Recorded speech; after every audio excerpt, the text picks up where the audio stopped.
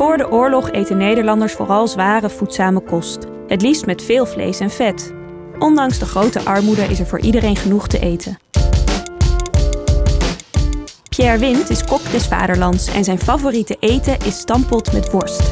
Wat vindt hij van de recepten uit de vette jaren 30? Hoi Pierre, Hi.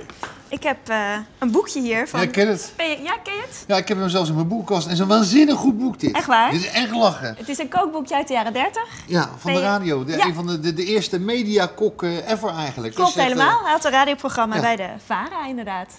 En in de jaren 30 aten ze ehm, veel vet en veel vlees. En ik ben heel benieuwd wat jij van deze, van deze recepten vindt. Dan denk ik bij mezelf, zou hier wel of niet gewoond willen eh, hebben toen?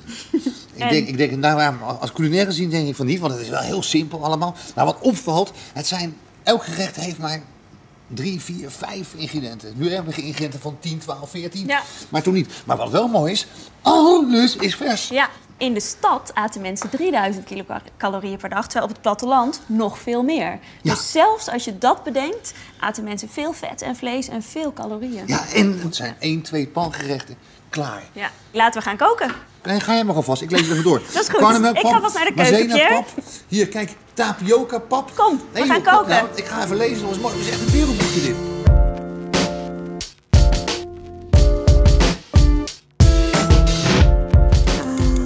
Hier, dit is hem. Eh, zet de bonen met zoveel water te week. Dat is dit, hebben we al gedaan. Ja. Eén nacht. In dat recept ik weet zeker dat er staat, dat kan ik je nu al garanderen, dat er staat ruim water.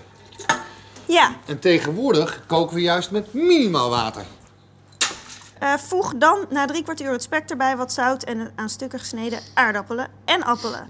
En je hebt dan dit als hoofdmaaltijd, maar daarnaast aten mensen ook nog veel brood en reuzel en, en boter op hun brood. Ja, maar wat lach is koolhydraten, koolhydraten, dat was het Ja. devies. Ja. Nee, je had benzine nodig. Je had gewoon, eh, ja, het was gewoon de brandstof. Precies, ja. Voedzaam is gezond en niet per se verse groenten.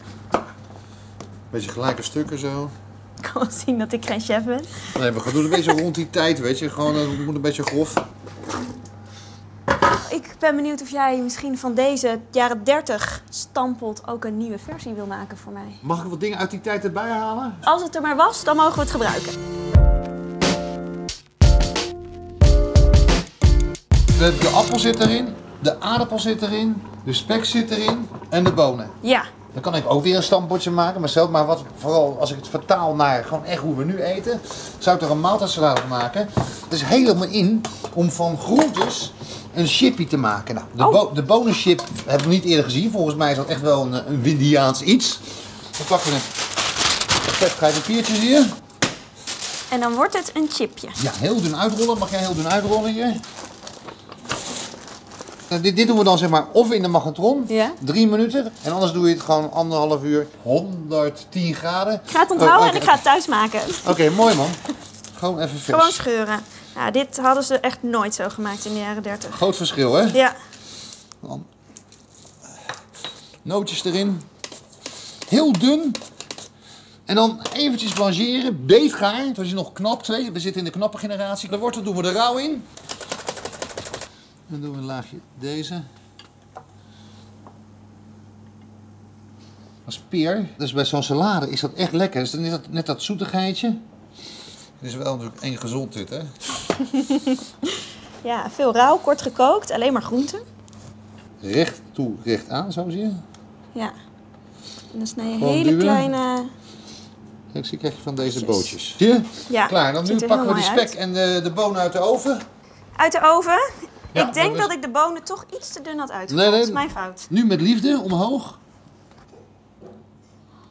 Kijk eens wat een mooi chippy. Heel mooi. Helemaal goud, hè? En, en dit is dus helemaal knapperig weer. En dan doen we zo, doen we deze, leggen we er zo op. Appeltje erbij. Oh ja, dat zijn dan de bonen. Dus we hebben de groenten en de sla en spek en de appel, wat ze toen eigenlijk ook al hadden, maar nooit zo zouden gebruiken. En dan die cres en die croutons en de dressing zijn eh, van, echt van nu. En de pietjes. Dit is helemaal stuk gekookt, hè? Mooi, hè? Kijk, dit wordt een goede Doe je stap. ook even? Kom maar. Ja? Dansen. Ja, ja. Niet te weinig natuurlijk, want het is... eh daar moet je de hele dag mee doen. Het heeft verder niet veel smaak. Nee, hè? Maar ook helemaal geen kleur, hè? Nee, het ziet er een beetje saai uit. Is het binnen te houden of niet? De appel maakt nog een beetje lekker. Maar het is niet echt smaak. Het is echt wel smaak. Nee. Dit is dus anno 1930. Dit is anno nu. Ja. Voor welke twee zou jij nu gaan? ja, ik ga voor die. Ja, ik ook. Hé, hey, wat ga je zien? Doe jij de afwas? Ja, is goed. Maar eerst neem ik deze Dat is mee. wel anno 1930, hè? Ja, dat is waar. De vrouw doet de afwas.